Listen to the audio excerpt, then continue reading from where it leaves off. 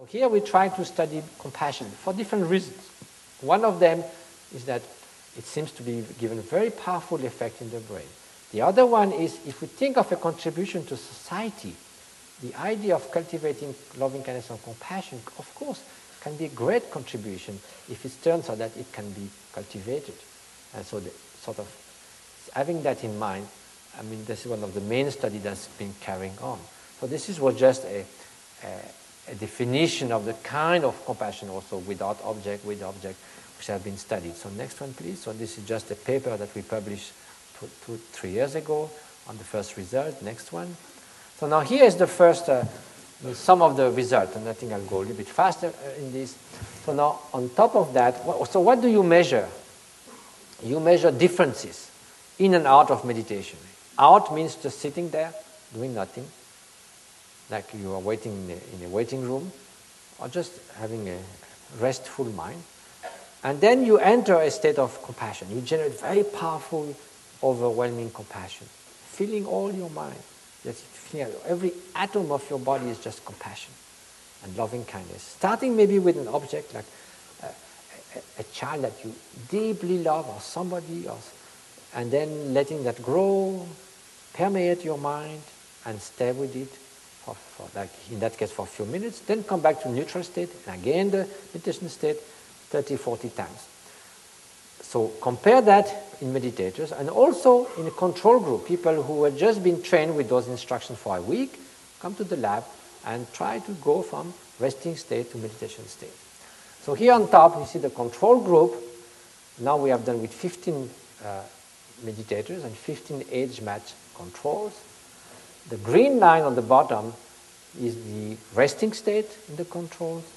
And the blue line is when they try to generate compassion, meditate on compassion. So, as you see, of course, they, they must have, they, they, they say they have some kind of feeling of compassion. It's not completely the same as resting state, but it's very weak. There's not much, hardly, there's no change basically from the resting state. Now, if you see some of the practitioners, the resting state is down there, the green and red is still the same, but when they engage in compassion, it's this extraordinary increase of the, of the brain waves, which uh, occur mainly in the gamma range, gamma frequencies, and which is up to like a thousand percent increase, which is uh, somehow never been described. That intensity of, of voluntary induced change in the brain so far never been described in, in the literature. Hence, what you see on the door of this, of this theater Mr. Happy, happiest person in the world. Of course, absolutely no meaning. They tested 15 people, you know. So it's, it's quite a jump to the conclusion. but that's what journalists like. And, and also, I was by far not the best of all those 15. So, uh, okay, next one, please. So this is a different way of, of showing the same result. You know, on the on the left you have the control groups, uniform blue means no difference, meditation, no meditation. And the more it, it gets colored in, in brown means a big difference between meditation and resting state. Then next one, again, different way, up, up left, all the controls, in and out of meditation, and meditators. They, don't, they are not exactly all the same, but, uh, but they are very different from the controls. And then next one. So now also, you could rate uh, live your, the change of your meditation. Just so, so as not to disturb too much the meditation, we just have two hours, and then as you feel the meditation of compassion coming clearer, more intense, we just go up, press one arrow, the right arrow for instance. And then if you start losing it a little bit, then you again press. So there's numbers that goes, you know, that you don't see, you don't, you don't have to think about that. But they go up, five, six, seven, and then you feel that you're losing it, then it goes down, six, three, two. Then you, again you generate powerful compassion, and it goes up. So now, next slide. You correlate with what is measured in the brain. And for anyone who knows about statistics, if some of you are conversant with that, a 0.67 or 0.7 uh, correlation is very high correlation. There's one chance in 40 million that this is due by a chance. So that means what the, the person report, the first person report, matches very well what is measured in the brain. So next, next slide. Now the second technique, the fMRI or mental imagery, shows that there is a strong increase when you meditate on compassion in the left prefrontal cortex, which has to do an area known to be related to positive emotions. Uh, and so that's, that's why, again, this, this Mr. Happy story is that it's an area where, yes, when you feel enthusiasm and joy and positive affect, normally it's known to increase activity there. So here, compassion and loving kindness, that's what we are measuring, is maps in the same area. So which is interesting because actually compassion is one of the most powerful, one of the most positive among positive emotions. It's a win-win situation. That means it's, it, that's why Iswaran Dalai says the Bodhisattva is a very smart, uh, egoistic person because by being compassionate, he's also extremely happy.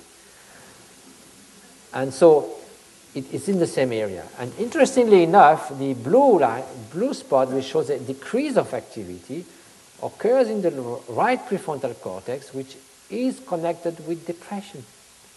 When someone is depressed, there's an increase of activity there.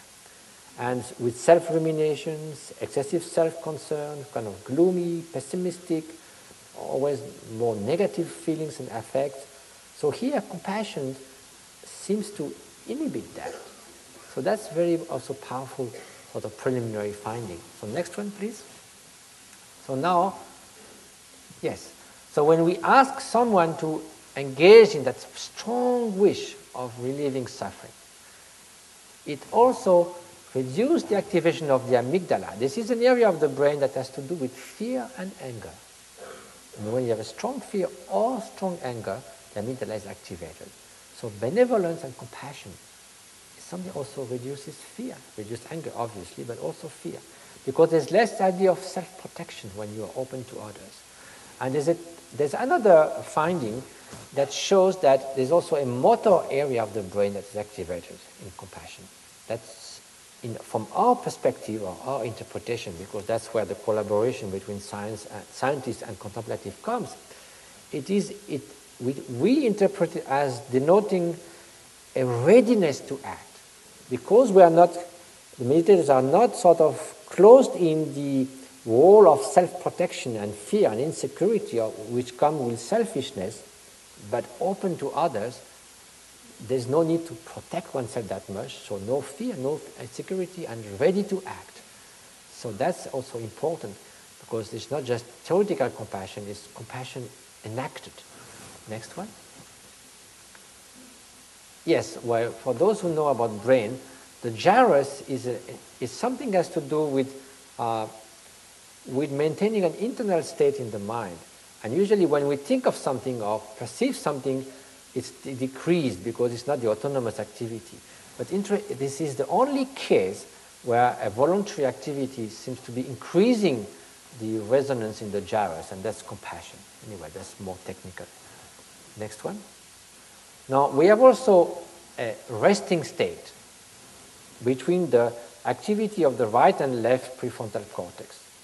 People who are more active in the, in the left, in the right, if you ask there, you know, they have been followed over 20 years. It's, it's, way of life is people usually report being not so happy and you know, they have other things in their life like changing job very often and sometimes chain smokers and and reporting, you know, a lot of difficulties and sometimes recurrent depression and so forth. People who are more on, the, on this side, usually they are, you know, quite uh, happy, happy guys, jolly fellows and enthusiastic and you know, when some problems, they sort of full of energy to overcome, so more optimistic and so forth. Now the meditators which we were tested, they are just outside the bell curve. That means they're sort of a category on their own.